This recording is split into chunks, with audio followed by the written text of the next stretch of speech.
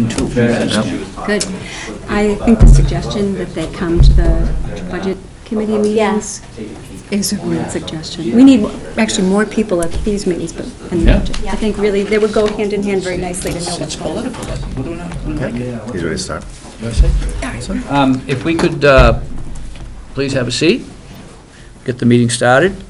Um, If we could stand for the Pledge of Allegiance, please. Oops, right to it again.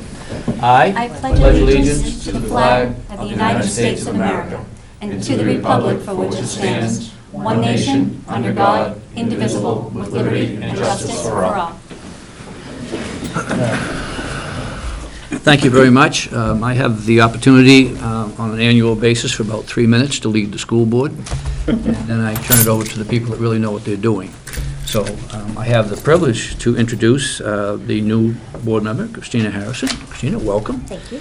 And um, then my next job is to simply ask if there are any nominations for board chair, uh, if we have any nominations. I'd like to nominate Brian And Brian Bourque. for Brian Bourque for the uh, board chair. I think he's done a, a great job of kind of leading the board over the last couple years. I think um, he puts the time and effort in necessary to, to be chair, and I think he's established a strong working relationship with the SAU and the superintendent. I think the continuity would be, would be good for us. I second that nomination, and I second my brother's comments. I think you've done a fantastic job, so if you would like to continue with it, that would be So- great. We have a a nomination, a second. Is there further discussion? Then all those in favor of uh, Brian Bourque being the board chair for the 2016-17 school board, please signify by saying yes. Aye. Yes? Ah, yes. Aye, one, two, three, and you're abstaining? Outstanding. All right, three zero, so we don't have to ask anything else, because that's accounting for all of the members here, so congratulations. Thank you. I think. And uh, I would now turn the uh, meeting over to the uh, board chair, and uh, he will call for the vice chair nomination, I would think. That is next order of business. Thank you very much, too, by the way. So the next order of business is any nominations for the vice chair? Anyone want it? I nominate Derek Bartlett. I'll second that. Any other nominations? Any further discussion?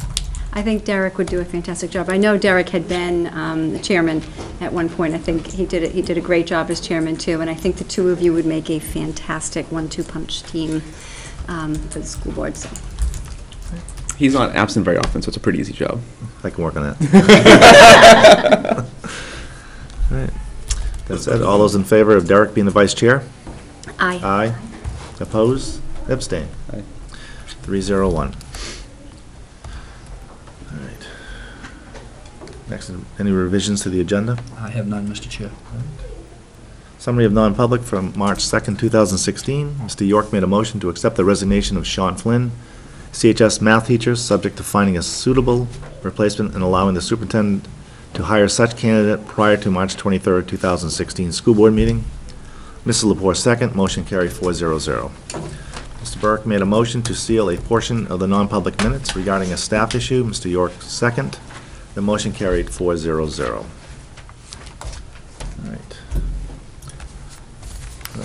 At this time, I'd like to introduce um, Ron Peddle with Homeland Security, who is going to give us an overview of um, something that Homeland Security offers to districts to go through um, each building. I'll let you explain a little bit better than I can, but it- it's, they would come through and do a walkthrough of each school, looking for any security issues that we could possibly work on. So about uh, a year and a half ago, uh, there was a grant program started with Homeland Security, and it entailed about 60 schools. That was part of the grant program. Uh, The governor, being a former educator, uh, liked the program, decided it was a very good program, expanded it to all the public schools uh, in the state of New Hampshire. And so far, we've done 280 schools.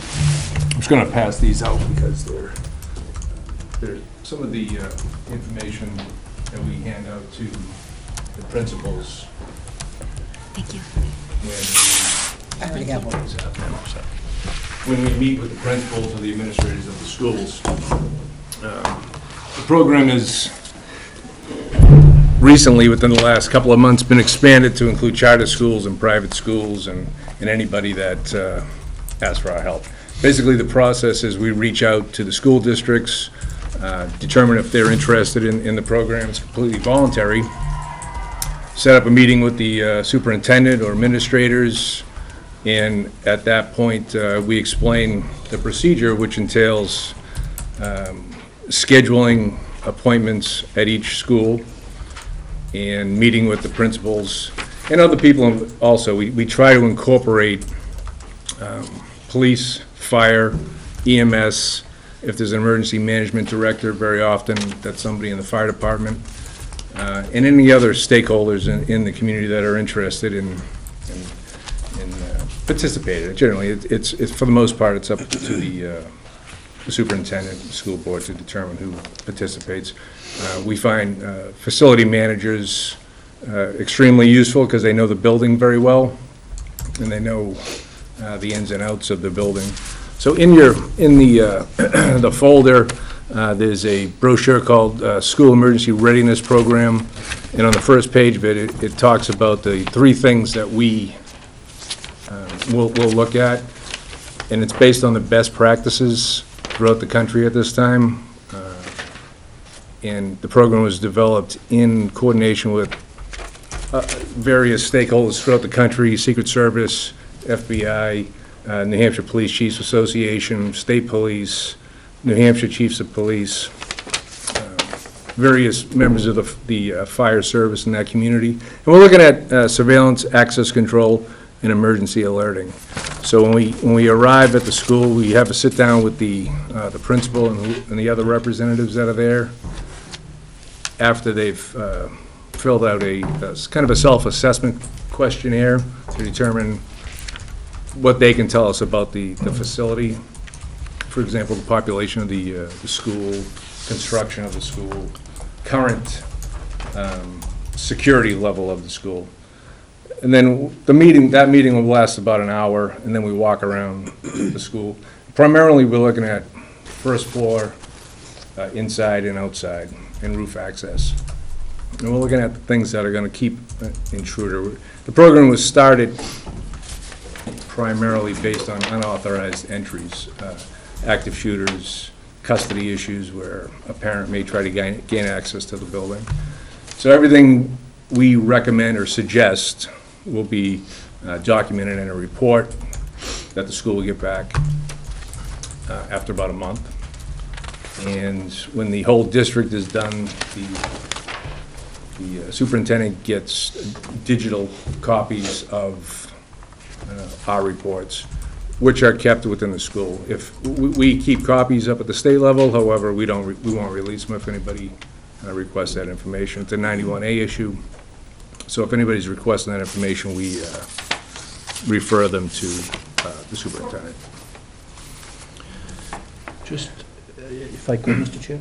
Yes. Yeah, we, we, um, uh, Ron and uh, myself and some other folks had a meeting already, and um, I was um, fortunate enough to, uh, in a previous district, uh, have Homeland Security come through and um, actually do an audit of um, what our physical structures were and, and um, what we could do to be uh, more secure.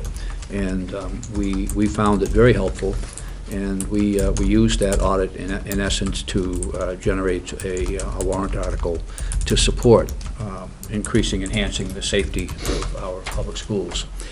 So um, we've uh, already uh, gone forward with establishing a couple of days that uh, Ron and his team would be coming in, in March, uh, the 29th and 31st.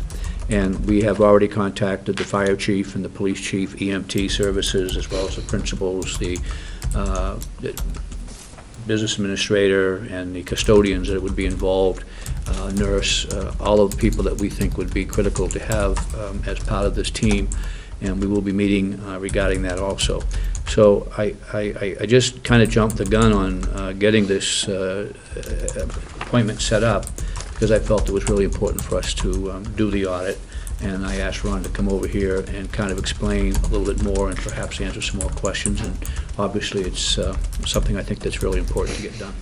I just wanted to kind of paint a little background, if I could. Absolutely. Uh, Are there any uh, questions, or?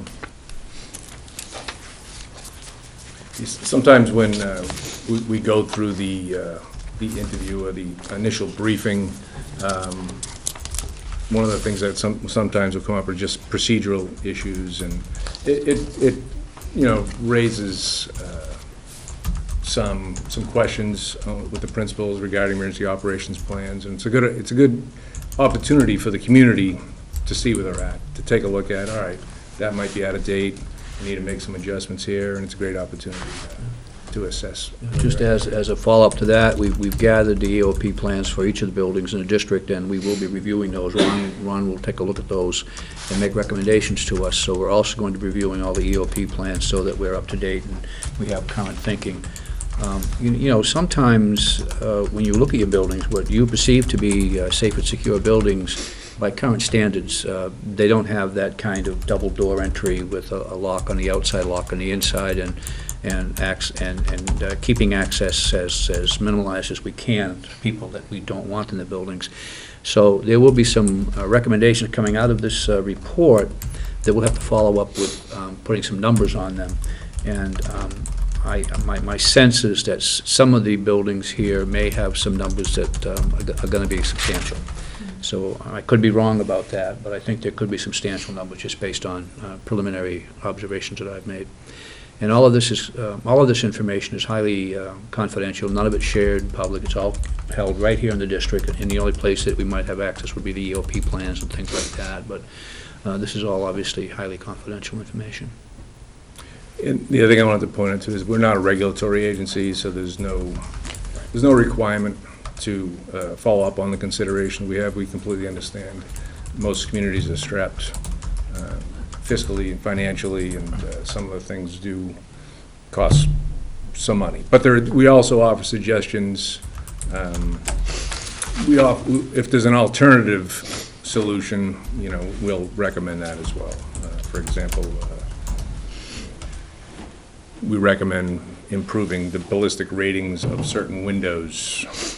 But as an alternative to that, there, there are uh, security film that can be placed on, which is a little bit cheaper, probably substantially cheaper. But uh, certain communities are, are electing to, uh, to go one way or the other, you know, based on their, their ability. The other uh, areas that we uh, provide a service for, in addition to the security assessment, um, we provide incident command training, so it's uh, the National Incident Management System, which is uh, part of the, uh, a federal system for responding to emergencies um, that police and fire, especially fire, are very familiar with how they respond. And uh, the way uh, we develop EOPs with school districts, uh, it would be in coordination with police and fire, they would be the the responders that would come here. So it puts everybody, for the most part, on the same page as far as what the expectations are, uh, both on the part of the school district and the schools and the police and fire. So, so nobody is, uh, if, if an incident occurs, uh, nobody is left wondering, gee, you know, what happened there? You know, how come we didn't have a plan for that in place? So, and that's the importance of having police and fire involved in that.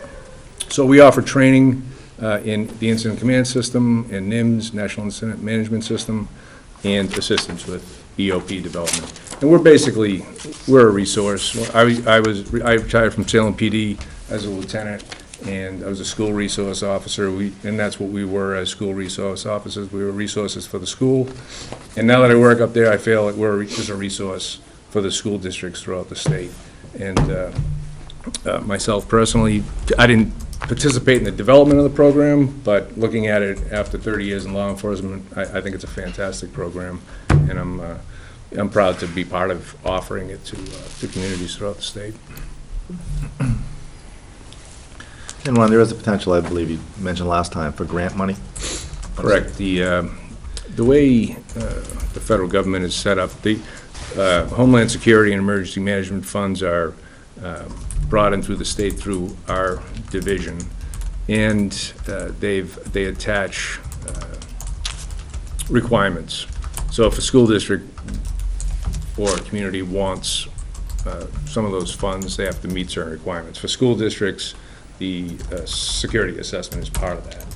And if, if we were to identify, for example, the need for more cameras, um, you could apply for uh, grant funding to, to, to get more cameras. Uh, And each year, there seems to be quite a bit of money in- in, available to uh, districts throughout the community, so it's, uh, it's been a good program.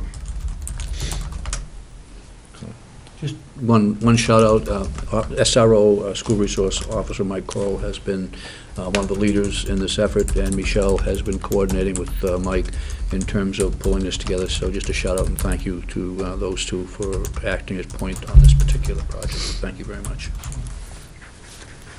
I think We'll look forward to your report. I look forward to, uh, to meeting everybody and working with the district. It- It's nice to come in and, and meet everybody that's involved, and, and uh, if at any time throughout any part of the process, um, I'll leave these here, these are my business cards. If at any time there is uh, a question or concern, feel free to email me or, or call me directly on my cell phone. Good, Great.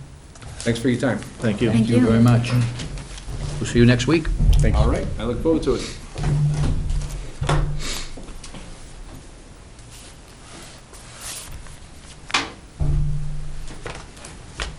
Michelle, these next two, are these just for review?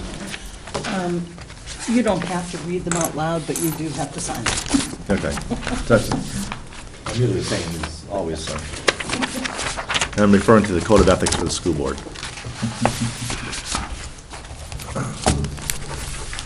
Who's doing that? I need your signature for the... And school board conduct. Printer. Oh, wait, right here? So, yeah, Sherry said about this size, with my signature as an example. And I think she already has plugins. So, Thank you very much. I don't get to sign, sign each opponent myself? Just one. First you have it.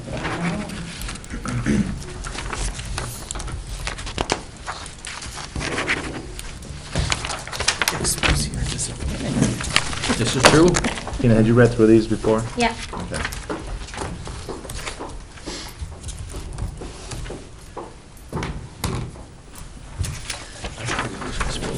See how you're supposed to behave. Yeah.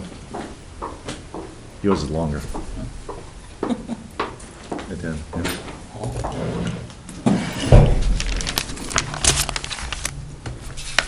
Ooh.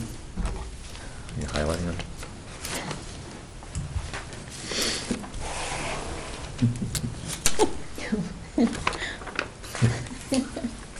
There's certain ones we just put in there, put in there.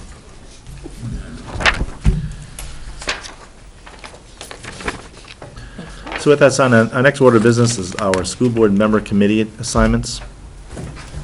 Michelle was nice enough to put together. I don't know, a- The description should be attached to that somewhere. Yeah, it is.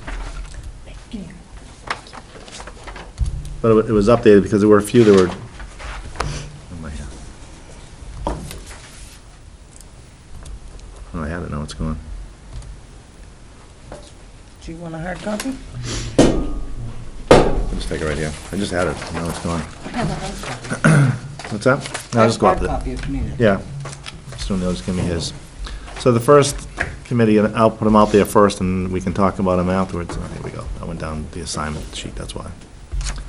So, no, Yeah.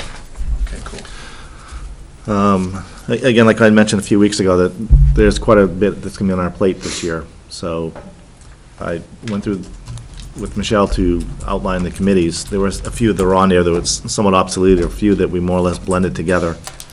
Um, So I- I'll put out first any volunteers as we go through the committees. If not, then we can go through um, some of my thought process um, that I had when I, when I saw these, who might fit in there well. So the first one is the Budget Committee. This one, normally one goes underneath the table. So I'll say, I'm, I'm more than happy to do the Budget Committee again, unless someone would prefer doing it. Now, let me just ask you, i- your wife is now on the Budget Committee. Is Mhm. that going to be a conflict of Uh, interest I- perceived by anybody? I'm not saying that It's- there is, but... It's I'm- possible. I'm gonna have a conversation with, um, we're gonna meet with with Cindy Couture next week. I- I, I don't see it as one. if it's okay Um, with them, it seems like it should Yep. be perfectly fine. My wife and I don't see eye to eye on many things, so. I've met your wife, I don't think she's Could be swaying her in interesting in anything. the Bourque household. i- i- If anything, it, it could be, could be bad, I need counseling. yeah. I'm gonna watch now, that's for sure. Because of what it is. But I, I wouldn't see my role changing whatsoever, and I don't see her commitment to the budget committee being swayed anyway as far as me being there, so, And your role's pretty straightforward, is to defend the school board budget, it's not gonna change either way, right. so. I'll just put up the fight to defend it, and then I'll get reprimanded afterwards. But if no one else is interested, then I'll do the budget committee. Right. What I'd like to do is assign Nikki as the alternate. I, I think there's a couple of committees here that we need to have an alternate to make certain that, um, I think I only missed one meeting last year, but there was a second one I almost had to miss, but no one seemed to be able to step up, so, um, I'm gonna place Nikki as the alternate. Um, The next, if I'm in order here, is Joint Loss Management Committee, which is like a risk committee, who meets quarterly. Um, There's one member of the board, and there's like 14 members that are on that particular committee, which is a, so, What's the capital planning committee? That's going to be, it- it's kind of new. Okay. Once that report that, um, that the warrant article was for, Okay. once that is done, it- it's going to be the members just getting together and like I know where we go forward with the um, recommendations. Is anyone interested in the joint loss committee? Th- That was one that I was going to ask Nikki if she'd be interested in, unless someone else is. See, Nikki not here, we can give them all to her, but. I'm I'm seeing a patent. Yeah. No. And again, that, that one meets quarterly. Uh, The next is Technology Committee, which I'm not mistaken, Jason, you meet quarterly also, or monthly? Um, right now this year, um, we have not met. Okay. So, um, the plan is to, um, meet more often and then, um, and then see where we need to go. Um, I could, unless you're interested. And part of that committee, are you formulating your five-year plan at the Correct. same time? Which you have parts of that already done, at Correct, my yes. understanding.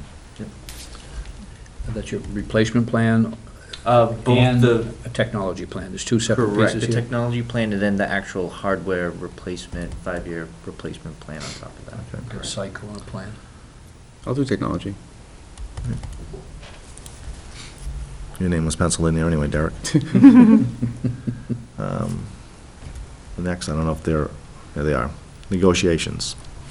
I'll So we- volunteer. we have two different sets of negotiations. First is the LEA. Why are you looking at me? Good job last time, Derek. I think she just volunteered. But we're look- we're looking for- I need two volunteers, We're like looking for two members.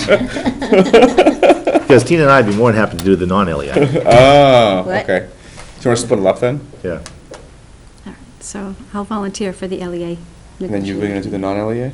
I can't do the non-LEA, Right, obviously, that's so- why I would, I'll do the non-LEA. That's what the LEA wants me this time. I mean, much, much harder. You want to do that, Derek? Please follow. Uh, yes, I'll, I'll do, I'll do LEA. And Tina, would you like to do the non? Is it still, uh, That support staff, basically. Yeah. Yeah. who's your, who's your reps? It's still, what's her name? The NEA rep. All right. The next is the Same- well. You're same, you have the same lawyer, right? Yeah. Oh, you're She's doing- going down. You're going down? That's a great attitude. You're She doing, she doing both? Trust- She is, right? Huh? Yeah. Yeah. Next is Wellness Committee. No one's jumping up. I had Nikki pencil in. Well, I do. I, I know she's probably the one person who possibly can make it here, you know, after school. Yeah. And again, it's another one that's quarterly, so we're talking four meetings a year. Right. Yeah, Next is Perk. I'll do perk. Derek, do you want to be the alternate for that? That's I think it's important, it's, I know last year we had two members, but it seemed like we only had one who showed up, but I think it's, Yeah, I'll give you an alternate, yeah. okay. And the last is the capital planning committee, which I'd be interested in doing, I don't know if anyone else is or not. I have no interest. No interest? That's fine. No one else? Uh, I'll be an alternate. Okay. And again, that's one I think that's gonna be quarterly, it'll probably meet more often to begin with. Um, And maybe like, at least the first one, if you can attend the first one, I think it'll probably be Yeah, important as far as laying down the ground rules, and um, that's gonna be a a new committee, it's kinda like blending a couple of different committees together, but it's one that, you know, we'll have the building assessment, so it- it'll give us some direction, where before, we to, like, I think last year, they kinda like walked through the buildings and kinda like looked at different things, you know, what can we do, what can't we do, but hopefully, this study will give us a much brighter picture of things we can do, and we're hoping to incorporate too, them looking at the thirties building, to see, you know, Yeah. what can be done, or what kind of a study might have to be done to at least maybe utilize the ground floor, which might be a little bit easier to do than both the second floor and the first floor. All right. Well, thank you all very much for um, taking on those responsibilities. What is this one, school board information? That's just. So next is correspondence. Uh, we had three. Um, the first one was from Kathy Dyer. She was inquiring about when we were going to set a date for the 2016 graduation.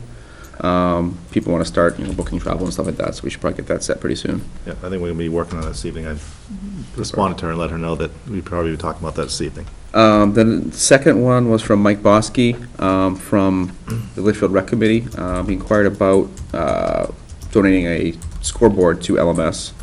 So I'll forward that on, and, you know, you can deal with that. We're probably something we have to accept at a, a future meeting. Um, the last one was from Tyler Matthews. This one was quite lengthy. I haven't actually had time to read the whole entire thing yet. Um, but he was inquiring about, um, he had missed the presentation on Google Classroom and the one-to-one computing and had uh, several follow-up questions about it. Um, I think Jason's gonna actually talk to some of the questions later, so, uh, hopefully we can get some of that squared away. But he had questions about, you know, privacy and data in the cloud and stuff like that, so hopefully we can answer those later today. Yeah, it's pretty lengthy, so it will be in the minutes. I don't know if you've sent those off to. I'll uh, forward to Michelle right now. All right. The next is approval of draft minutes from three two sixteen. I'll make a motion to approve. Second.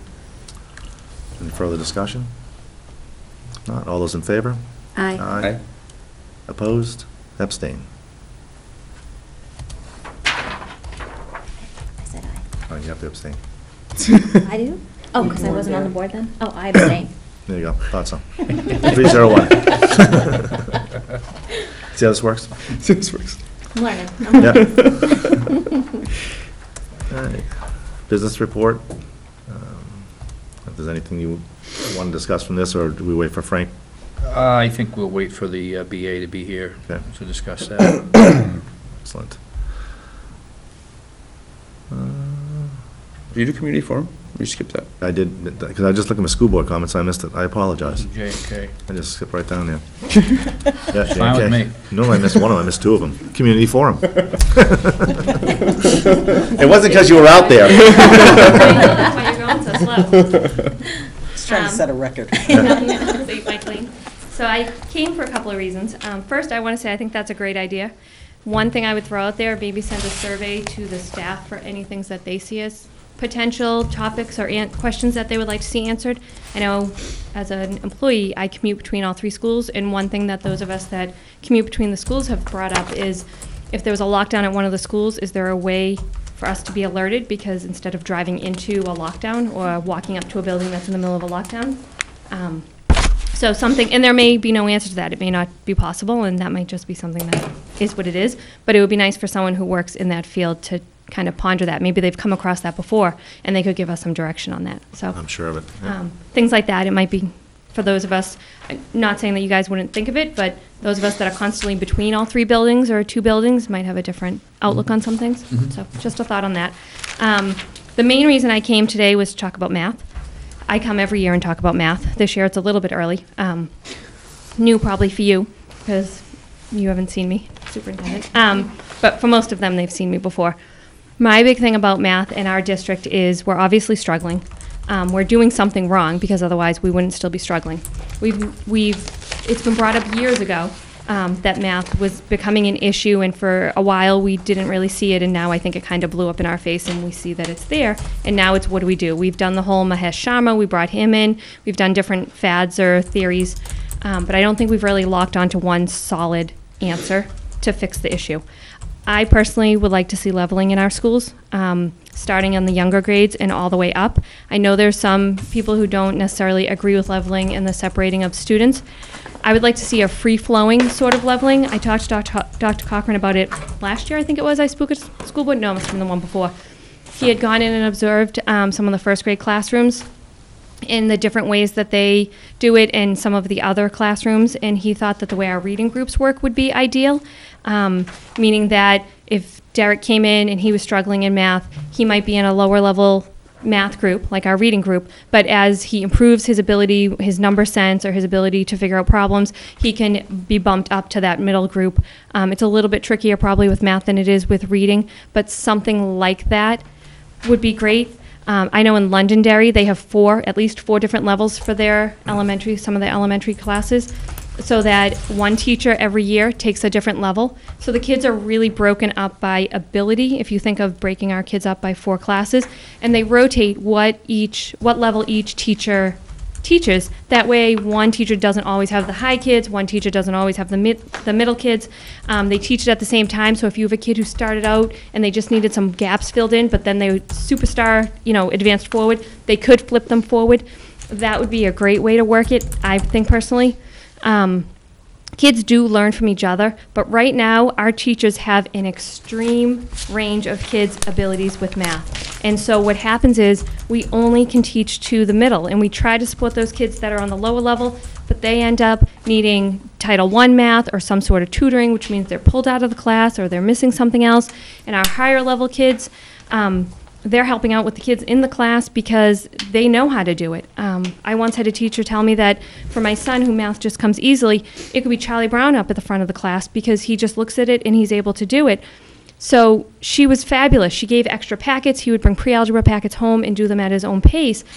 But the problem with that is, is now we're giving the kids who have the ability, they're getting extra work on top of their regular work instead of their work being the level that they should be at.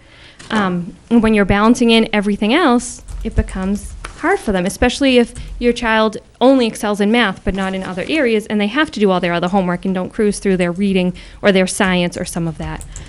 Um, so I think if there's a lot of pros, there are more pros than cons to leveling math. If we could do that, one, we're always looking at our testing. We're looking at Smarter Balance. How many kids do we have in that top tier? Why can't we have more kids in that top tier? Well, we don't because we aren't able to teach them at that top tier. If we could take those kids that are able to learn at that faster pace, put them in a class, they could learn at that faster pace, they'd hit that top tier. And then our kids who struggle, they could be in a smaller group. We could take our paraprofessional support and, and heavy load those kids that struggle so that they really are getting small group instruction on those difficult target areas. Those kids that are middle ground, they go with the flow. They get that, that typical pace. And that class that's high, they don't need para support in that classroom because they, they don't need that type of support. So we can take our, our what's the word I'm looking for? Um, resources and put them in where it's most needed instead of it being so spread out among all the classes because we're teaching all abilities. So that's my, my annual blurb on math. Um, what else do I want to say? One other thing I will say, oh, so when you guys talked about algebra, and it was John when he was here was saying about all our kids should be in algebra by the time they're in eighth grade. The reality is not all our kids can learn algebra by the time they're in eighth grade, and I think we're setting our district up and our, we're setting our kids up for failure and our teachers if we're saying all your students have to make it to algebra by eighth grade. We need to look at the kids at their ability that they have and teach them at the level that they're at, and then progress them through from there. That's how we lose kids behind because we're saying you're going to get here, and we're not looking at where you're at, and then they lose that in between. So that's that. Um, I was thrilled to see the playground is open. I was a little disappointed that it took three weeks to get it open, considering temperatures hit almost 70. Um, did a little experiment on my own. Um, well, I was hoping Frank would be here because I did want to ask what exactly the criteria is by Primex to get that playground open. I know I'm harping, and I apologize. However, a lot of work went into that playground. The kids love the playground, and I really think it's a disservice to the students and to the taxpayers. If we're going to maintain that and our taxpaying money is going into that, then it should be open when it can be open. Um, so I did a little experiment on my own a couple weeks ago, probably three now. I took a pencil, brand new, so what, nine inches, give or take? Stuck it straight into the ground with one finger, no resistance. And I did it over by the parking lot where the, where the plows drop all the snow, so it's probably the last area to defrost. It's got trees and shade, so it's not like the playground that's out in blatant deep sun. Um, so I said, well, this is two o'clock in the afternoon. That weekend, we had some cold weather. I think we had frost on the ground. Monday morning, it was 32 degrees, give or take. Took out my pencil. When I pulled into work in the morning, stuck it right back into the ground. So if a pencil can go straight through the ground in the dirt where the snow is generally piled up, our playground could have been opened earlier, I would hypothesize. Um, so I really think we need to have some sort of checks and balance system of when is it going to be closed, when is it going to be open. It's not fair to the kids who are not those football players out there throwing that ball on the hot top. It's not fair to those kids that look for the swings or they look to climb to get that energy out. So, but I'm glad it's open now. I was a little afraid the snow was going to get closed again, but I don't think it is. I'm not sure though. So that's it. Thank you. I- I- I'll comment about the playground, a few things. One, has been more conversation about the playground than there really needs to be. Right? Um, You use a wood pencil when you measured? I think I use a rubber pencil, so it kind of like just bends when it frozen. That I believe. But, but all kidding aside, and we, we've had many a conversation as far as the playground, and we're looking into alternatives right now, what we can do, so that going forward, it's gonna be open all the time. Whether that means digging up what's there right now and, and putting a, a a bigger foundation down, but just something, because it, it needs to be open. And to the point though, that, because I was at a different playground and I did the same thing, I, I actually dug with my pen, but I was in Merrimack, and literally about five, six inches underneath what they had, their wood chips, it was frozen. So, But they were open, weren't they? I don't think Merrimack closes their playground. I don't know, I was there playing, so yeah, they were, pl- they were open. I will tell you. I And the not- argument, the argument I had is, where are the kids playing if they're not playing on a playground? Playing on the hot On a pavement, That was my argument. yeah. Even in the middle of winter, they're playing, not this year, but last year, they were playing on 10-foot-high snowbanks above hot top. Yeah. Um, and so in the end, it, we cannot, believe me, I have two kids that played on that playground. I do not want a broken arm. I don't want anything obviously worse than that. We have to protect our kids. I'm not saying we should be, it's icy out and they should be up on the rock climbing piece or the slides or anything else. I'm just saying that we shouldn't go the other extreme either. We're not benefiting our kids by doing that either. Um, and I did, I found out, and I need to get the list, but there's a whole slew of playgrounds around this area that they laughed when they found out that we closed. Um, and I understand we're different, we had an issue, and so we have to respond to that. I completely respect that. But in the end, even if we put rubber mulch down, we still need, I would assume, a certain depth for it to be protective. Correct. And if we don't maintain that, we're still not going to be open. And that's my concern. Are we truly closed because the ground was frozen? Are we closed because we don't have the depth that we're needed, in which case it's a maintenance issue, not a frozen ground issue? And that's my concern, because it's been closed in the past because we didn't have enough surface area. And that really is a fault to our district. There's no way that playground should not have the, the, the protective cushion required so that that can stay open during, when the school is open. If they want to do maintenance during the summer or whatever else, but there should be a way to monitor that surface, that prep area or protection area to be sure that we meet the criteria that protects our, us legally, protects our kids out on that surface, and can keep it open. So, but I agree, there's way, It's been, yeah, too much. And, and again, I assure you, we're looking at alternatives, what we can do to make certain it is open. thank you. Thank you. To that, to that point, I would wait for school board comments, but to to her point, because I've, I think I've sent countless emails to the administration about the playground. Um, I, I think it's even more than the playground. I think it's just, we're giant wusses. Like, you can't play dodgeball, you can't play tag, you can't play, f- like, touch football, but you can throw a football, but it has to be a school-approved Nerf football with no sharp corners. Has to be one-hand touch. You can't, you can't even do that. You can just play, you can run routes. You can't actually play football. You can play soccer, but not with a real soccer ball. You have to use like a soft, silly soccer ball. Like, come on now. Like, let's have our kids like sign a disclaimer saying, I promise not to sue you if I fall and skin my knee in the playground and let, the- let them go play, because it's, it's annoying. Unfortunately, this day and age, even if they sign it, they'll still sue. I just, I'd like to thank you for coming in. And, um, you know, thank you for your points about mathematics, and um, I I do, I do, I do hear that.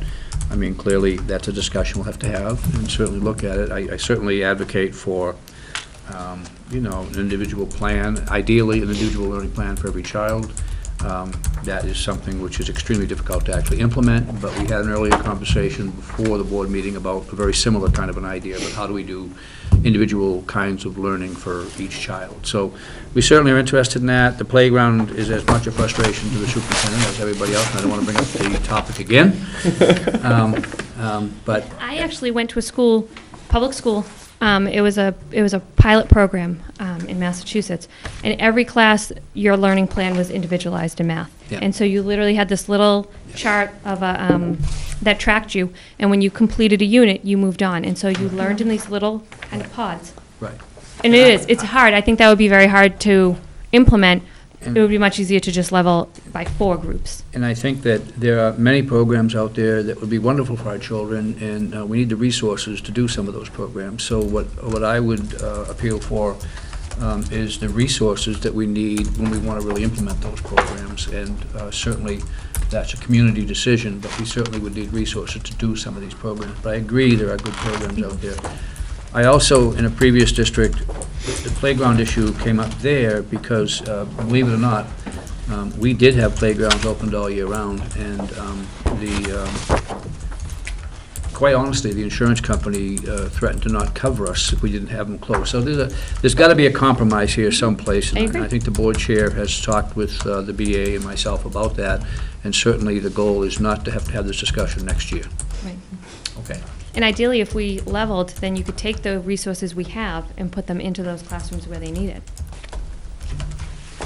Well, At it- least it's- some of it, it it's- would offset some of the It's- cost. It's, it's a, it's a very complicated systemic issue, and it would be something we'd have to really do an analysis of, and, you know, leveling it, of course, it is, and it is in and of itself a whole conversation that Right. we would have to decide as a community what we want to do with that. But Thank you for your suggestions. Thank you. It doesn't say uh, non-public, does it? Thank you, she got it. Just want to make sure I didn't say it. We We did. get killed now. Yep. That brings us to superintendent comments. Uh, Just a couple, um, I- you you stole some of my thunder. I was just going to say that the um, Support Staff Association, um, I haven't had anything formal, but I believe that uh, they'll be looking to initiate uh, conversations now that the new board has been seated, and I would suspect that uh, sooner than later, uh, sometime around the first week of April, you probably will get a request, and we probably want to, you know, join that negotiation as soon as we can. It's our first negotiation, and it will take a significant amount of time to work our way through that. And I would suggest to the board that with the uh, Teachers Association, it would be a good thing if we could uh, perhaps meet um, before next fall and, and start the negotiations perhaps uh, June, and then maybe August, or maybe even May, at least start some initial discussions, dialogues, and um, start working our way through uh, arriving at a, uh, a good CBA that satisfies uh, both sides. So I don't, I haven't had any formal requests on that either, but I suspect that uh, probably get the, uh, the Support Staff Association contract uh, started, and then um, not too late after that, perhaps uh, we could start working with the Education Association for the teachers.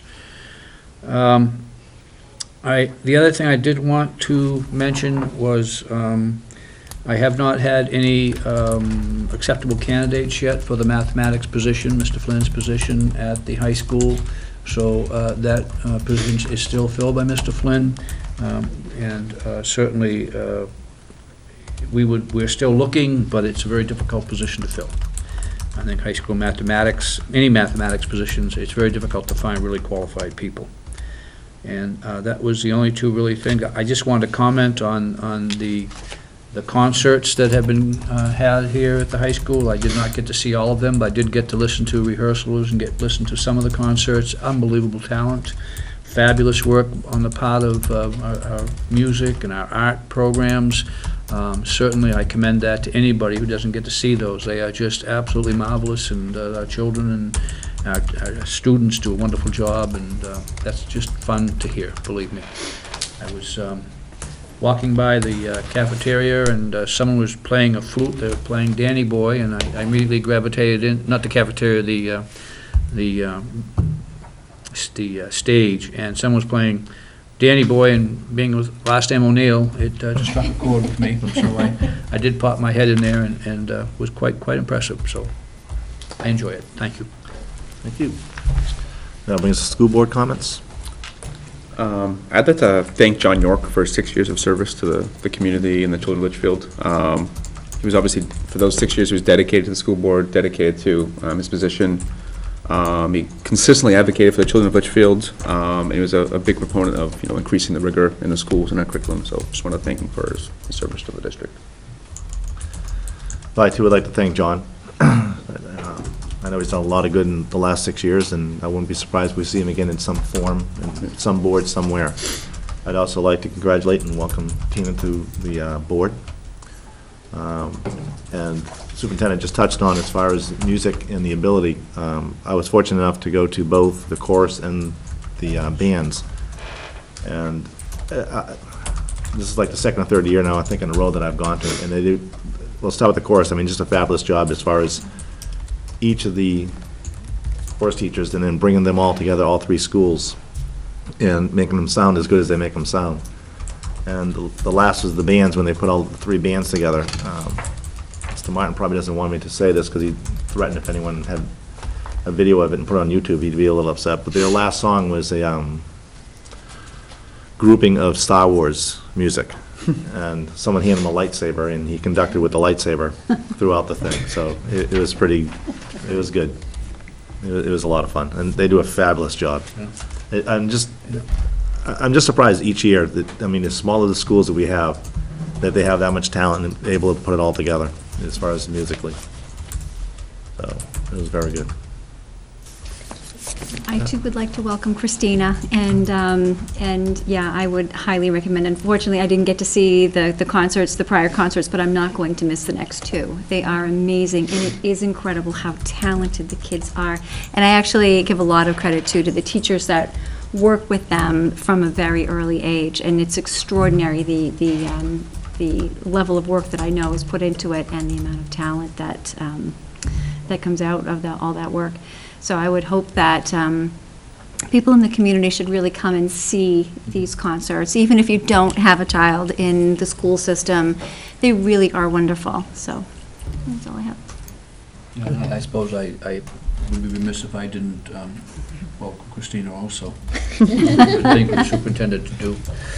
Um, No, seriously, thank you very much for joining the committee. for having I me. really look forward to working with you. And um, John York certainly um, made my transition into the district uh, very smooth, and and um, I appreciate John's uh, counsel and advice, and um, wish him the best in whatever he chooses to do as he goes forward.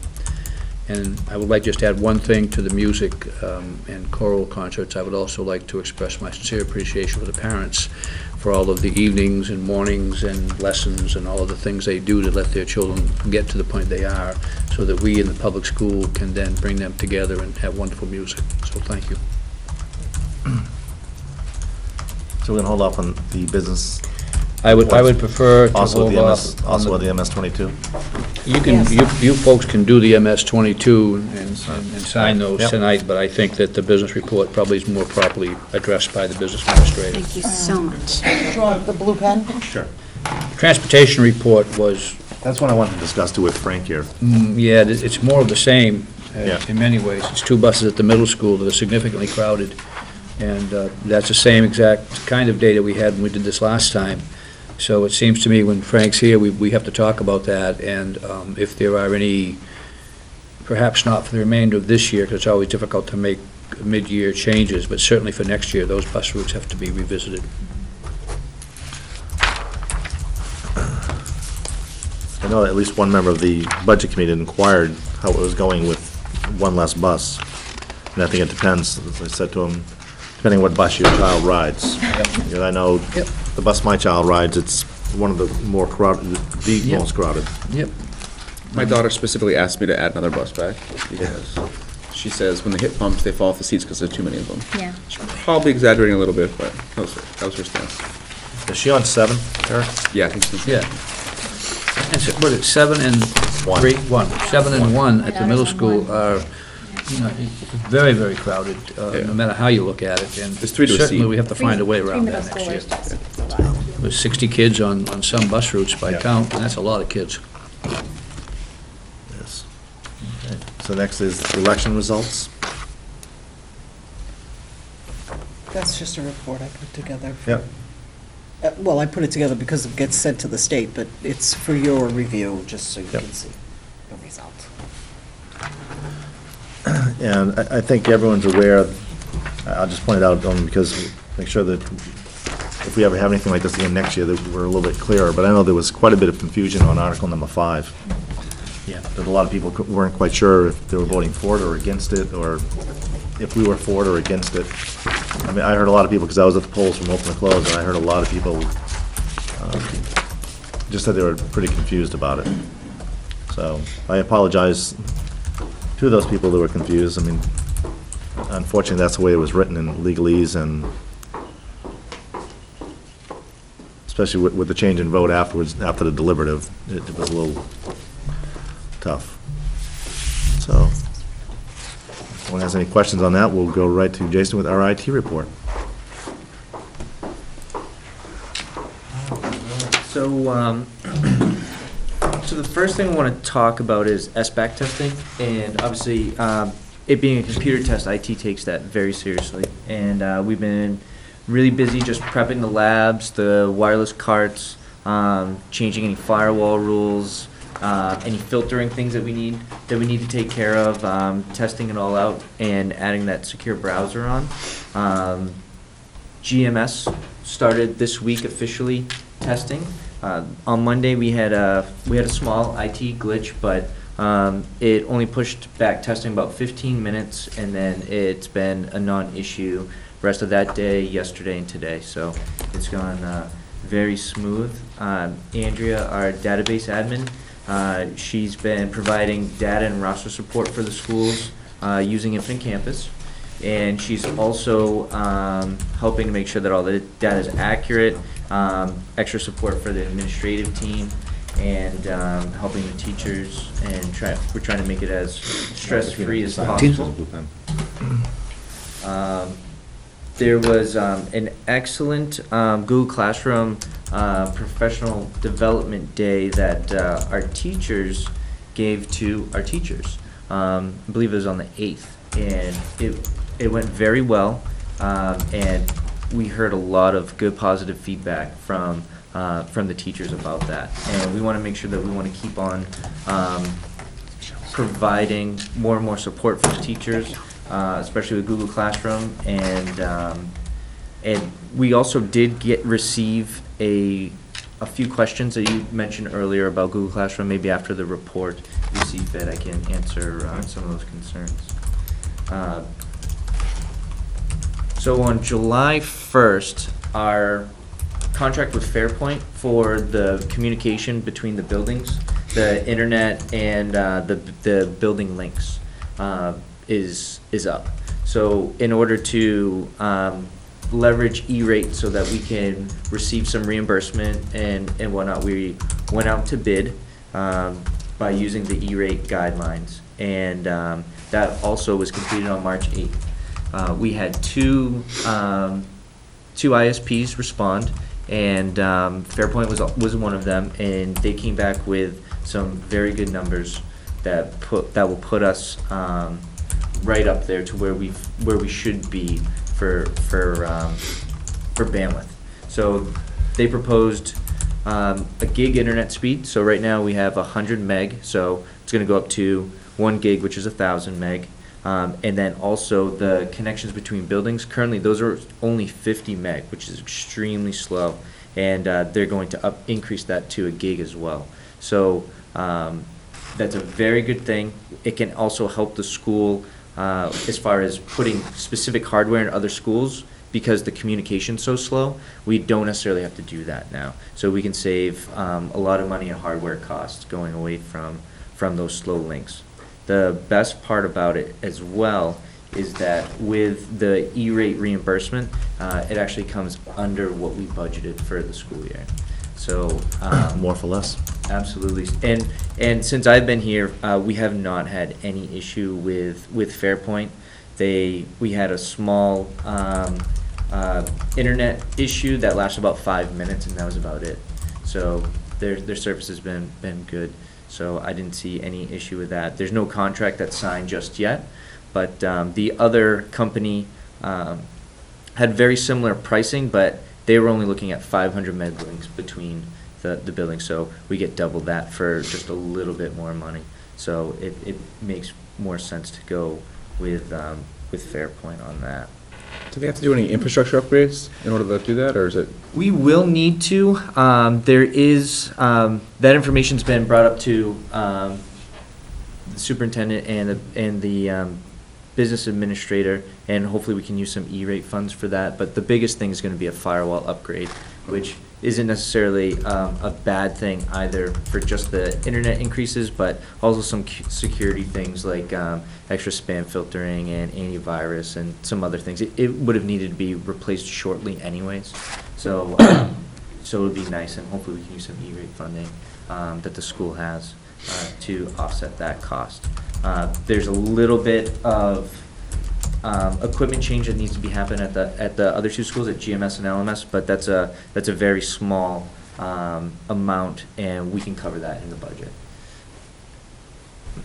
The, um, the other update I have is the Infinite Campus update, um, which is pretty substantial.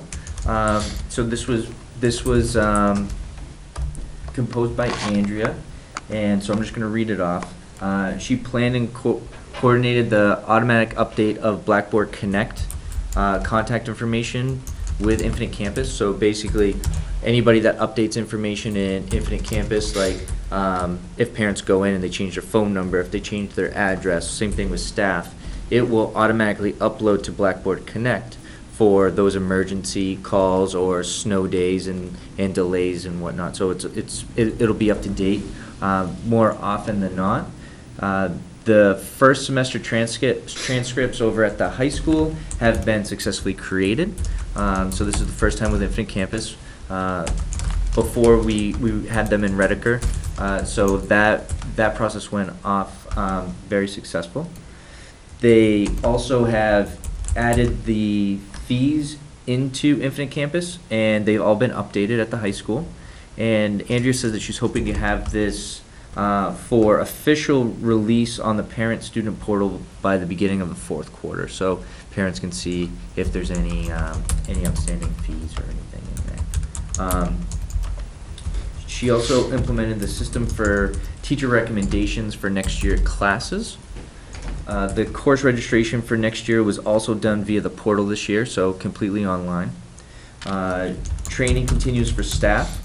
Um, The major push was for ad hoc training so that uh, more information can uh, be obtained by the secretaries in the, in the schools.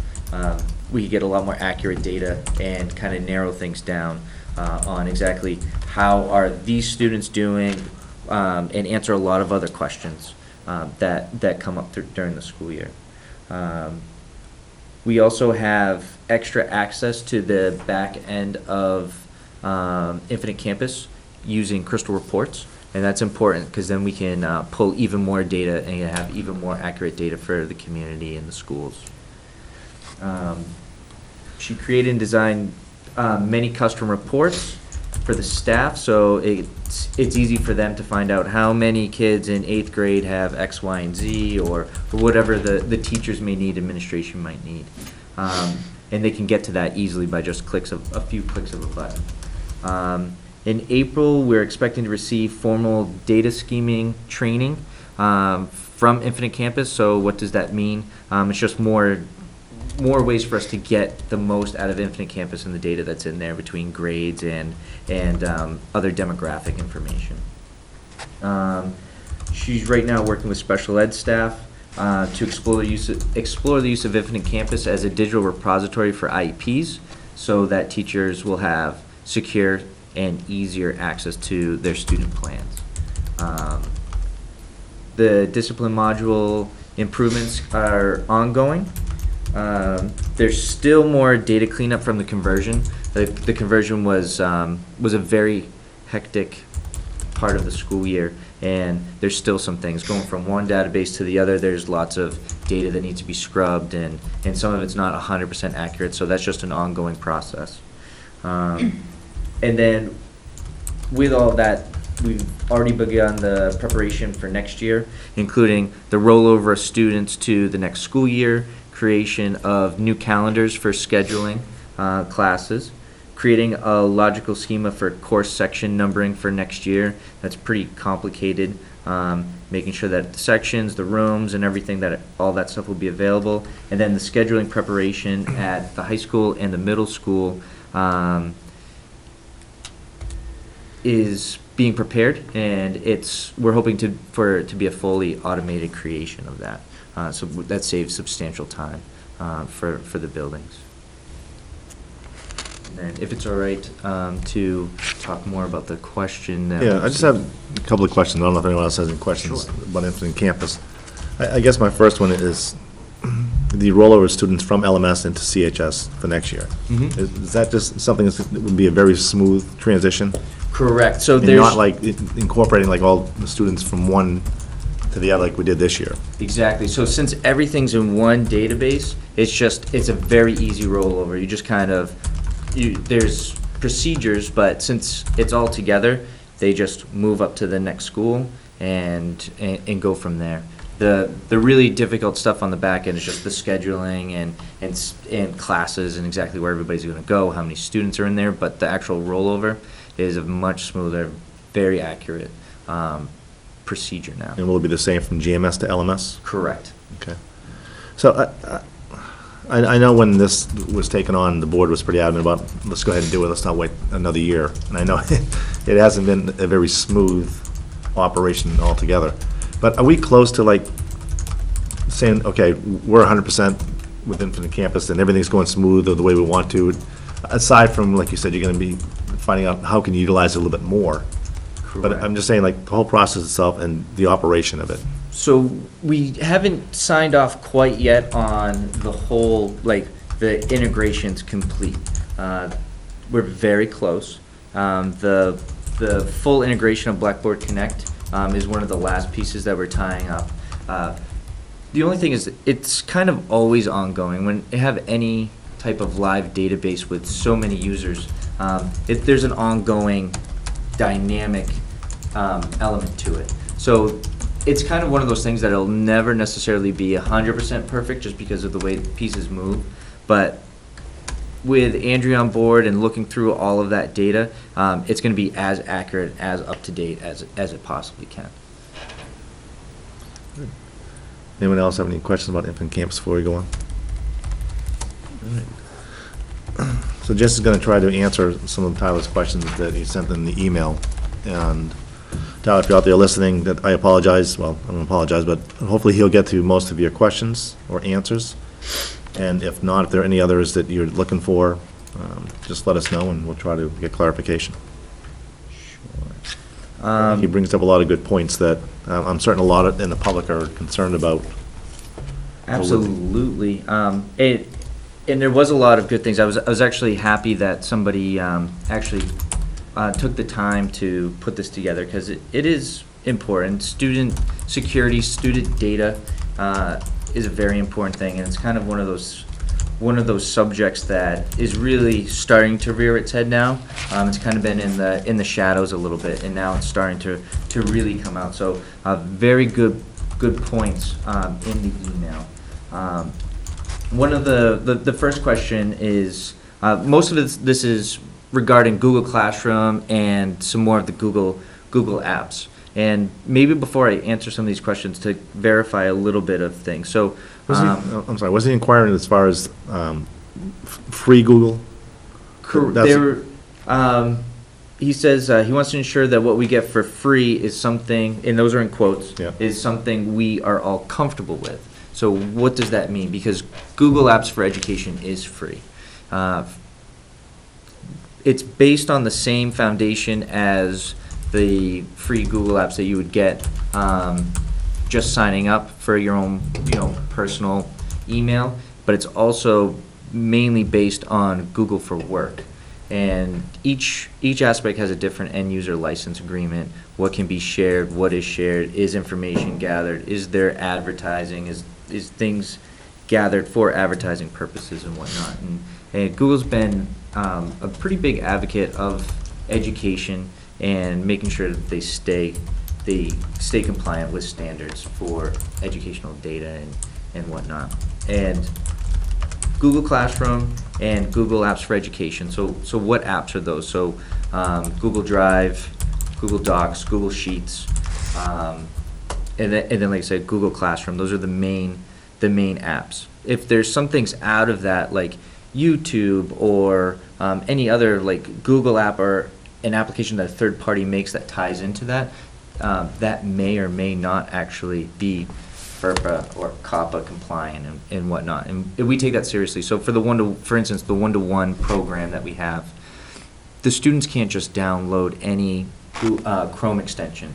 So Chrome extension is an add-on to give you enhancements or, or anything like that. So if the teachers want to add a certain uh, feature, they have to ask the IT department. Not because we want to control things eh, or be draconian, is because we need to read these end-user license agreements from these third parties and make sure that it's actually safe and that we stay compliant um, with them. If they use the laptop logging in with their own home personal account, that's something that we can't necessarily control. They own the, they own the, um, the device and everything, but if they log in as their litchfieldsd.org school-issued account, then, um, then all of those settings are, are in there while they're logged in as that one person. So the first question that comes up is, what level of personal information is contained within the Google Cloud? Um, and for the school district, uh, Google and the Google Cloud, um, meaning mostly like Google Drive and and the documents that are created that are stored in, in that, um, is what I'm assuming, uh, that they mean. And the school, it's, it's a newer type of option that the teachers have. And so a lot of times we find that it's more of new documents that are being created here. So uh, the students, if a teacher goes and creates an assignment, the students are using that to answer questions or create some research papers and, and whatnot. We're not seeing like um, a lot of, you know, there's, there's not like business data up there or anything like that. It's mainly what the kids are creating and they're, they're storing up there. And um, as we go forward and everything, and as we do PD, um, security and, and what that means for the teachers and the students is, is gonna be in, in those PD sessions, just to reiterate. Um, and the other thing too is, as far as like the personal information and security, Google has a really good URL which um, I can send out that answers a lot of those questions. How secure is it? What is our end user license agreement for um, Google Apps for Education? Because it's a completely different agreement than private than the private um, uh, the the personal email accounts and Google Apps for Work. Um, so they outline a lot of these concerns in that. Um, and then the second question is this information, which in the past has been basically asking, has this information that's now in Google Cloud, um, was it originally at the SAU's private network? And when I read that question, it makes me think that um, they think that we've moved everything to Google to Google Drive and, and the Google environment, which we haven't done. Um, everything that's in home folders, that's in shared folders, the confidential data and everything, that's still stored here. Um, it's mainly just for additional classroom use. Um, that's not to say that um, people in other administrative offices um, don't have access to be able to upload things. Um, that that's obviously there, but again, everything's very secure, and um, and we go over security and stress security, and um, what the end user should be doing with, with data. Um, and then another question is, um, what about data loss concerns? Um, is it possible that a cloud backup must be restored, um, potentially losing some data? Are we prepared for that possibility? Um, so, very good question. Um, Google has a feature called Google Vault, and you can use that to recover data. Uh, even if an end user deletes something and permanently deletes it, goes into the trash and permanently deletes it, uh, us as admin in the IT department, we can actually contact Google, and up to 25 days after that's been permanently deleted, we can actually have that retrieved. But it's a very um, closed group of people that can do that. So you have to be a registered admin, call up Google, deal with one very small group of people to in order to do that. Uh, the other thing too is we prohibit the use of uh, Google uh, Google Drive desktop, and what that is is when you can um, you can easily just drag files that you have on your computer into Google Drive and it'll upload to that. Uh, the reason for that is if you end up getting um, a virus that um, that does damage to files on your computer, it's not going to go up to that cloud and and disrupt those files either.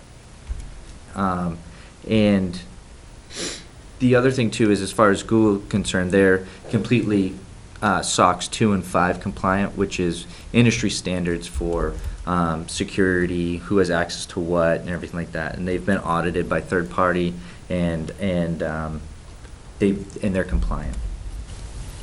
Uh, the other question is about uh, potential for hardware purchasing program. Um, what does that look like? Um,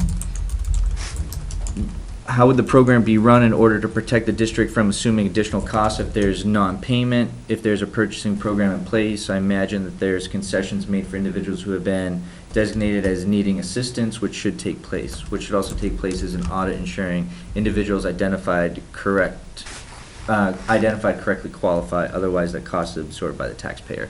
Um, so right now, we don't have a pro, a program in place that's like a, like a leasing inform, uh, to lease things. We're still looking into that. Um, and I can't really necessarily talk much about, um, the individuals that qualify for, um, for assistance. That's information that I don't have access to, um, nor should I have access to. So I can't really speak to that.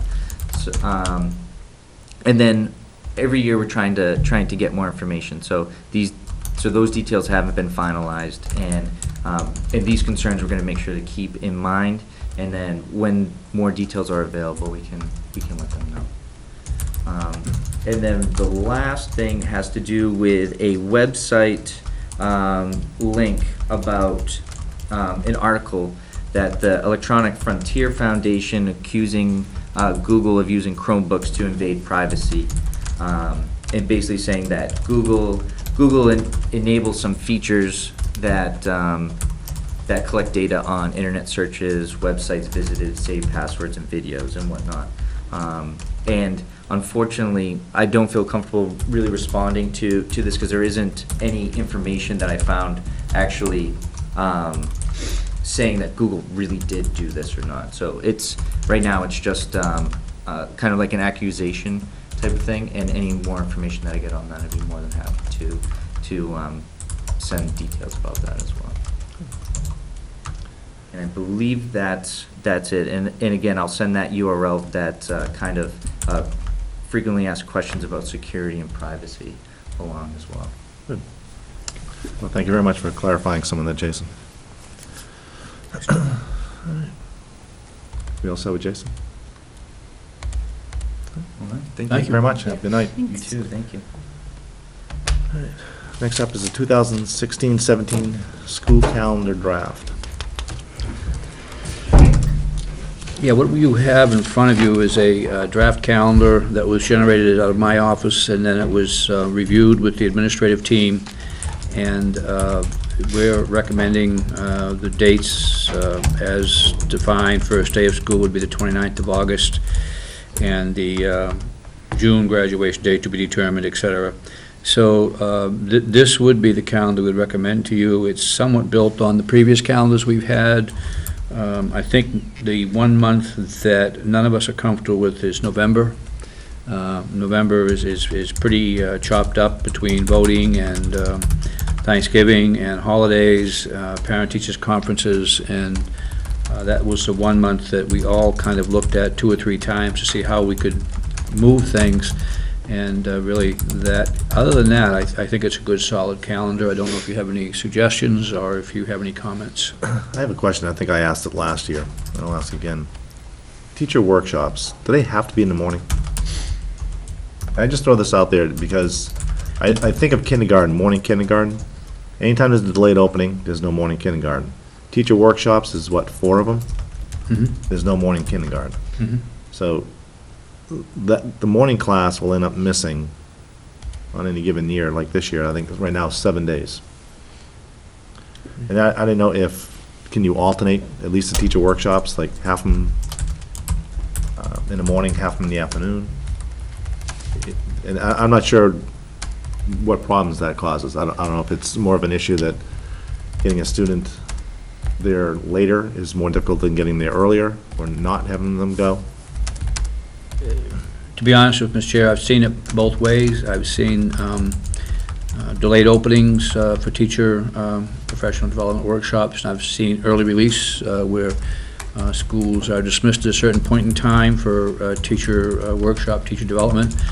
I certainly understand your concern about the morning kindergarten gets hit pretty hard because you have not only the two-hour delayed openings, but you also have the delayed openings due to snow.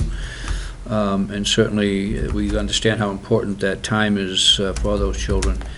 Uh, We certainly can look into the potential for um, um, early release as opposed to delayed openings and, and bring back a report to you at the next meeting and uh, have a conversation around that. I would want to have a discussion with the leaders of the building first and then uh, bring back some thoughts that you might want to act on if you wanted to uh, postpone accepting the calendar until that point in time. Yeah, I- I Just wondering if we could, you know, at least do like maybe 50/50, if that was possible. And unfortunately, you know, weather-wise, you you just never know, but I think we've already had, what, two this year, three Uh, delayed openings? Two that I can recall quickly, perhaps a third one, I'm not, I'm not sure. But I mean, it, it does, obviously, the kids lose a significant chunk of time. And I don't know, I'd have to talk with others about splitting the difference. Uh, Sometimes we're better off just to do it either one way or the other. But I understand what you're saying about, because the afternoon kindergarten then gets hurt more, so. um, But the morning kindergarten really has a double whack, because they the delayed opening in the morning plus this, so it it might be good for us to look at that. So i- i- With your permission, I'd I'd like to bring that question to the administrative team and, and uh, see what they have to say, get some feedback from the, uh, the Teacher Association, and, and uh, bring back a recommendation to our next meeting. Could I, could I just interject? Are we, s- so we're not going to approve the calendar tonight? Are we going to wait on that? I'm gonna wait on it, yeah. Okay, just because I have, I've, re- I've heard word from some parents that they, they're eager to find out the first day of school so they can plan their vacations. Yeah. But I think that's not gonna change. I think the calendar itself won't change. I think what would change was if we were to go some afternoons as opposed to mornings. You- Sure. You certainly, I think, could, with the chair's direction, approve the calendar pending a decision on um, the the delayed opening versus uh, early release uh, to be made at the next meeting. Yeah, we can do that. Yeah, 'cause I think contractually with LEA, we have to start before Labor Day, because it falls after Right. the 4th. Right. Is that how it works? So Yeah, to start. it would be, it would be one day that week, whether it's the 31st or 1st, we have to start somewhere there. And Preferably the earlier the better. Mm-hmm. Yeah, I would agree with that. The one thing I don't understand, we start early, we still end late. It's, Well, we, again, because we go by days, not hours. We can change that. Ooh, we have negotiations this year. But that is the reason that we end so late, is because we do days instead of hours. And unfortunately, you know, the high school can grad, can be out of school like, um, you know, the end of May with the amount of hours they put in. Yeah. Then you get the middle school is the issue. Sounds good. We can do that. Let's work on something. Well, If if I might, I I think that ours also gives us the opportunity, as I had mentioned earlier, to add more professional development days. And given all of the innovations and changes that are going on in education, I would welcome um, you know, three or four more days that we could use for professional development for, for our professional staff. I think that would be a really, uh, a great opportunity, but it's hinged on going with hours, and as you suggested, the middle school is a bit of a glitch. Yep. But negotiations are occurring this year. And we don't have any elections that we need to be concerned about closing. Well, the November 8th, I think, is the. uh, Oh, yeah. It's a is the big one, election actually. day.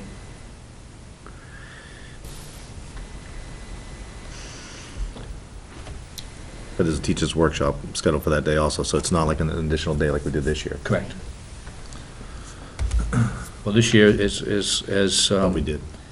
Yeah, we just kind of like had to make an accom- an accommodation for what we were getting feedback on for concerns. Yep.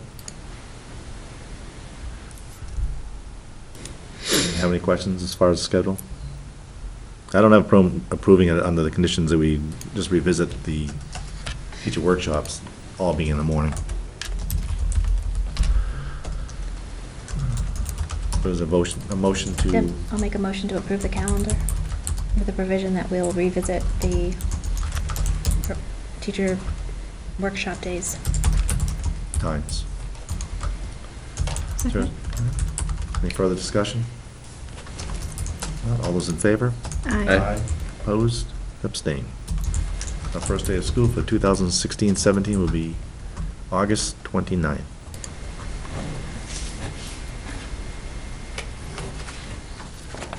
Can Make their plans to Disney.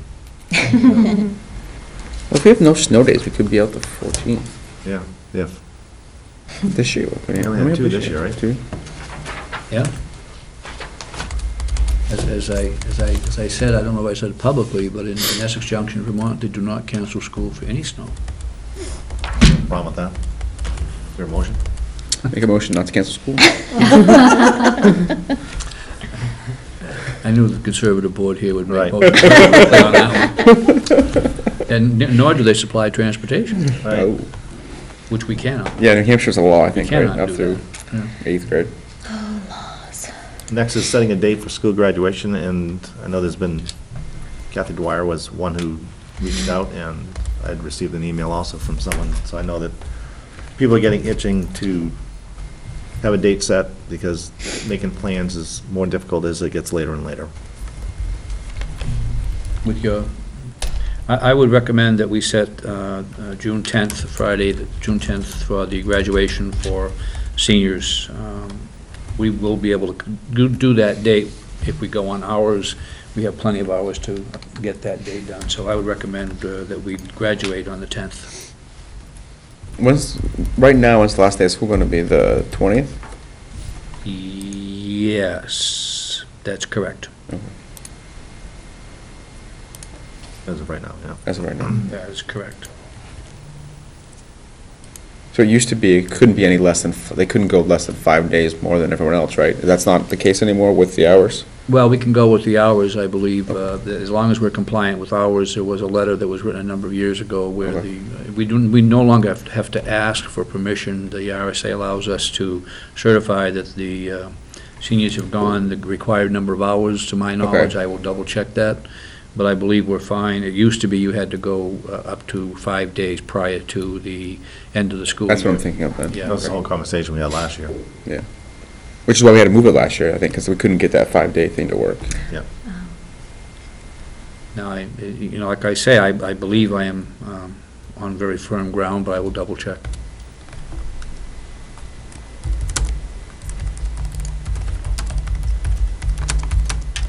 I believe you had to do something with the uh, senior presentations as a, uh, a day of school, and I think there was some,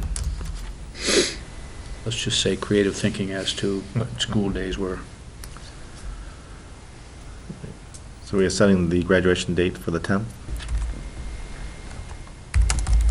That was my recommendation. Do we need a motion for that? Yes. So, okay, I don't know, I just, I did a quick Google search, I don't know what this is I'm reading. ED three oh six one eight, school year, and then point C, the school year for high school seniors may be reduced by no more than five days or thirty hours of instruction, whichever is less from the number of days or hours of instruction for other high school students. Hmm. I don't know if this is out of date, though, it just, it was a quick search. Yeah. What's our current last day for the rest of the students? So that's them. Is it the 20th? It's the twentieth, so it's, 20th, right. so it's six days. Yeah. I mean, I think they've come in on Saturdays before to make up that one day, just, you know? Any chance? Yeah. Am I making stuff up? My recollection though was a year where they came in on Saturday to give some hours. Yeah. Uh, Well, I- I mean, I think if you don't have it on the 10th, that means you'd have to push it out to the 17th. I don't 17th. think that's acceptable. I think we probably set the 10th as the graduation date. Let me check, and if we have to do some, some kind of uh, dance, we'll do a Yes, dance. okay.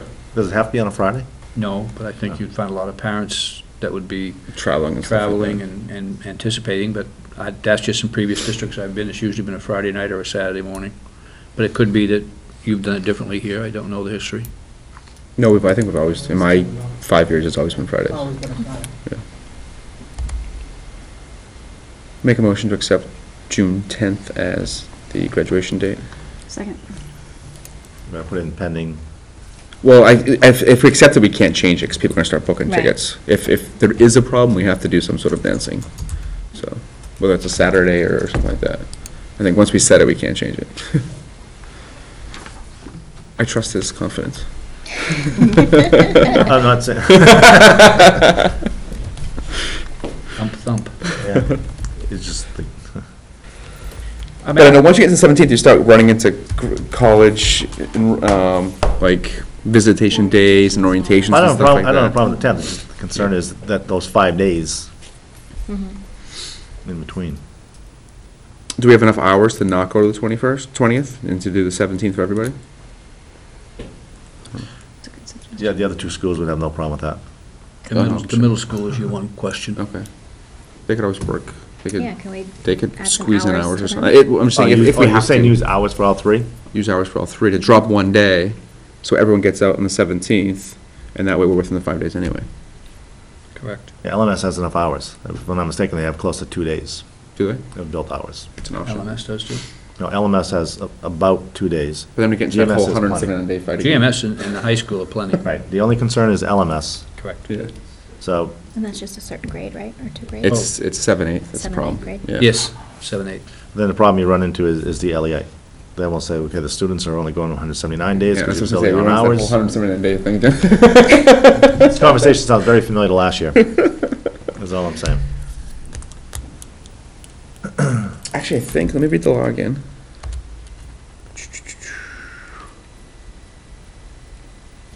How did I lose it already?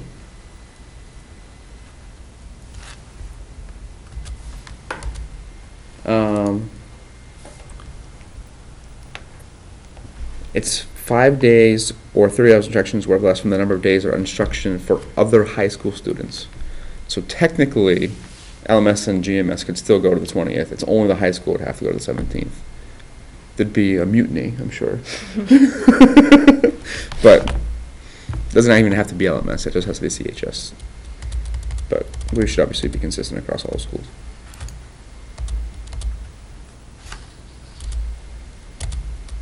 Any thoughts? Not really. Uh, I mean, I, I I think that Bingo hours and we'll be fine. I, I think if, we- we're gonna have, I can't see us not graduating on the 10th to begin with. I, I don't see us going, unless you want to go to the following Monday night, or, I can't see a midweek graduation. So it seems to me it's either the 10th or the 17th. It seems, it seems to me the 10th would be the most logical date to graduate. I'll have to, um, and then we'll have to, if I have to do some other dancing, we'll dance. I mean, if, if it comes down to having to um, have everybody, have the last day of school on the 17th, um, we would have to wor- work with the um, LEA and see if we couldn't work out some kind of an arrangement whereby uh, the teachers would still come in for that 186 day that they're contractually obligated to do, And certainly, I would hope we could do that up front and not have to do that um, in arrears. But I don't know how that would work out, but I would, I would hope we could work out something.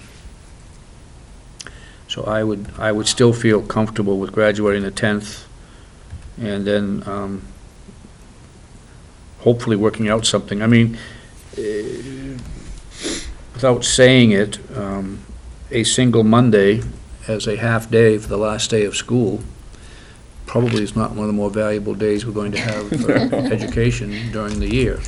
Um, And the attendance, I'm sure, will not be at at the same level we'd anticipate otherwise. So in many ways, um, if we graduated on the um, 17th, I, I think it would, it would, uh, for all kids, get a last day of school the 17th and graduation from high school on 10th. Mhm. I think it would serve us all well, and I think we'd have to enter into a quick conversation uh, with the LEA and, and see if we could uh, get some kind of a, um, an agreement ahead of time as opposed to in arrears. It's Just waiting till plan. our next meeting to confirm that. It'll be too late, you think?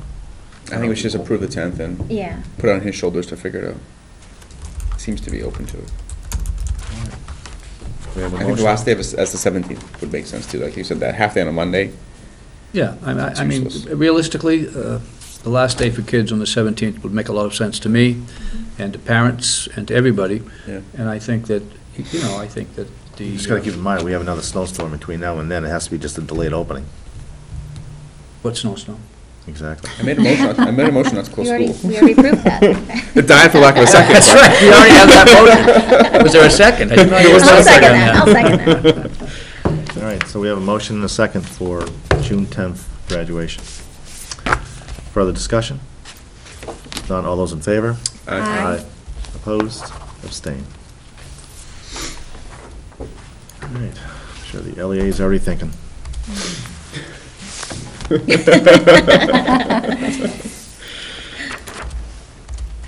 I agree hundred percent with Superintendent O'Neill said that that Monday, I don't think it would be well-attended, No. nor productive. Would be, keep the lid on. All right. To be honest. It'd be a challenge. Yeah.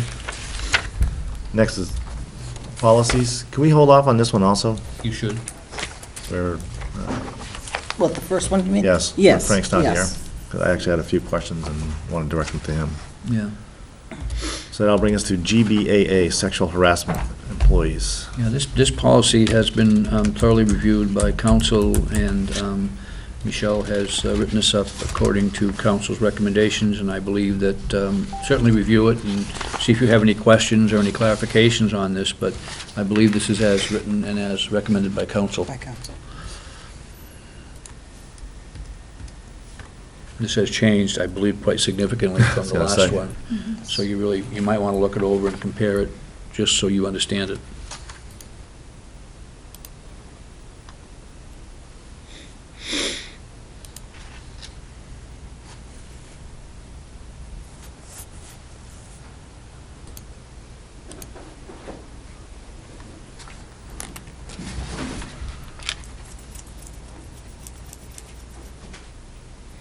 So they inserted the term unwelcome everywhere? Mm. I'm sorry? They inserted the term unwelcome everywhere, the lawyers? Is it, if it's in, if it's in italics, yes.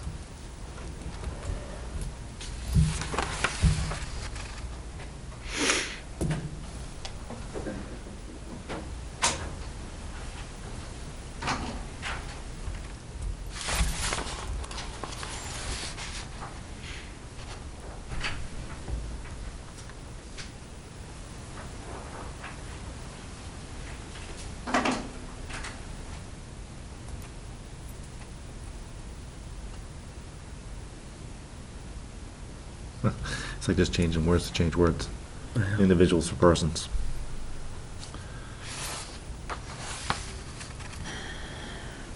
Janine? You're our lawyer. What's going on here? With regard to individuals and persons, Hmm, that's a good question. Not Sure, I. What's the unwelcome part? That just seems like, doesn't that give someone the, the, the, I don't know, the Well, defense of, I didn't know it was unwelcome? I think that- that's the term these Yeah. days. yeah, I mean, you- you can say that if it's with the addition of unwelcome, that suggests to me that, you know, if somebody has invited or allowed it, they can't then turn around mm-hmm. and make a claim that it was harassment.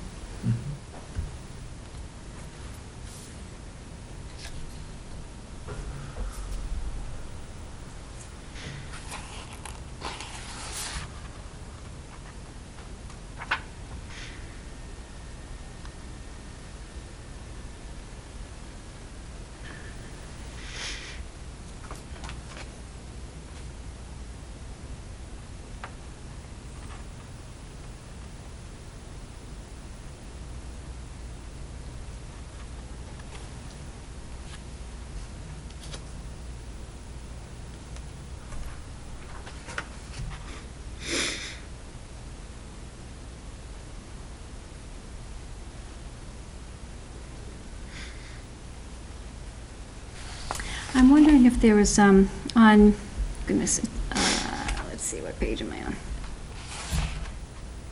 Under section two, sexual harassment, discrimination, and violence, item two, I noticed that, um, when you, when you compare items two and three, the language in three, um, hold on. You a page, Ron? Yeah, I, you know what, the pages aren't numbered, let me see what page am I on. Oh, it's the second page. Is it the ones I was just talking about, the, un- all the unwelcome ones? Yeah, but it's, it's, um, employment or students' edu- education, so submission to or rejection of that unwelcome conduct or communication is used as a basis for decisions affecting that person's employment or student's education. Um, and it looks like on item three, that unwelcome conduct or communication is a purpose or effective substantially interfering with an individual's employment. They've crossed out education. I- Yeah, I think, um, So I think that was a, a- a- um, one of the things she didn't cross out and I didn't catch. Okay, because I was wondering, because it sounds like, it sounds like this is very much directed toward Employment, yes. employees, not, Yeah, we had to split the, uh, the sexual teacher. harassment policy that we have because the law requires you to have one specifically for students. yeah. So on number two then, do we get rid of the or students' education? Yes, Okay, I just didn't catch that. okay. So If that's the case, then in number ten, following that, mm-hmm. there's a or educational status. Yep. Actually, number nine If you too. catch them, just. Number yeah. nine and ten has education in it. And number eight has a students. Oh, yep. Yeah, some of them I just, did- we didn't catch. Okay, got it. And then up above, e- above that list, that list of 12 items, um, it, it- it mentions educational benefits, but teachers can receive educational benefits, so it seems appropriate. It is, it's, I don't know if just a that's, wording if it should thing. be educational benefits. It seems like something that would, might be, it's a benefit, right, that the teachers have, is that they are, there certain um, additional education um, is, is paid for by the district. Am I correct, or am I totally off base here? Reimbursed. Reimbursed, okay. So, um, so I think that's appropriate, because it's, you're talking about um, something that's a- a- of, of a benefit to a teacher, so I'm not sure it's meant to be talking about children's education there. I think that still fits I can, um, I can ask teachers. legal counsel about that too. But obviously, a, you know, against a student's, um, that doesn't, that doesn't belong there.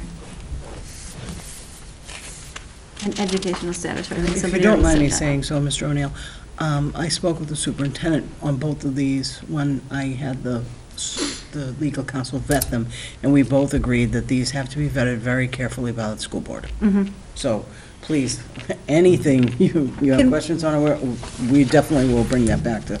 Can we maybe, I mean, it seems like we're catching some things right now. I mean, I would love to have the opportunity to sit down and, and maybe look at this a little bit more, you know, Absolutely, carefully than a skim, I think, rather than try to find it all and correct it tonight. It Mhm. might be better if we we're all a little bit more careful and Absolutely. And look at it. Absolutely agree with that. This is our first reading, is that correct? Yeah.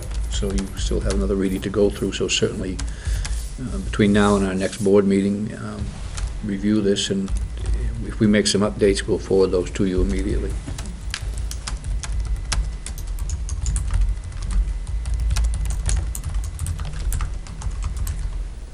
We want to take a look at JBAA, sexual harassment students. Yeah, that's a completely new draft um, that was given to us by legal counsel. And I would suggest the same thing, there are are a number of um, changes there. Looks like there are not really. You said this is brand new? Yes. Okay.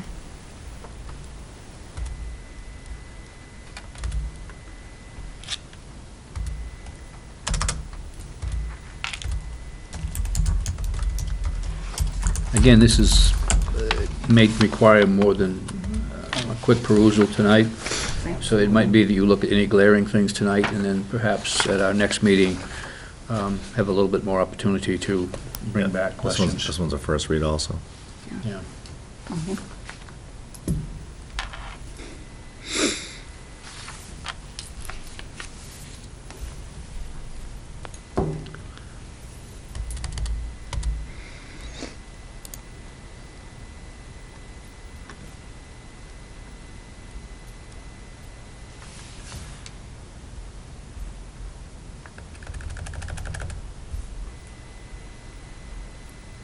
Say both of them where they're pretty lengthy and pretty uh, in-depth. Right. That we all take a look at them and jot any notes you do have, and then we'll look at them again next week and make a determination from there. And if you'd like to send me your input, I'll actually put it into a report form. Good. That's a good idea. All right, so then we'll move along.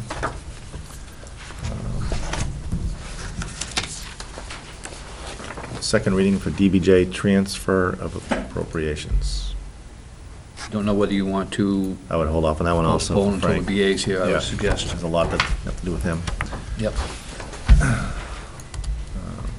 I think the next one, EFA, is just a uh, required compliance kind of a thing.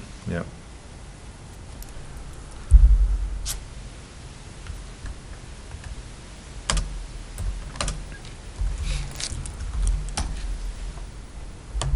Pretty straightforward. Mm-hmm. Make a motion to approve. EFA, A second. any further discussion? If Not, all those in favor? Aye. Opposed? Abstain. Brings us back to GBCD, background investigation and criminal records check.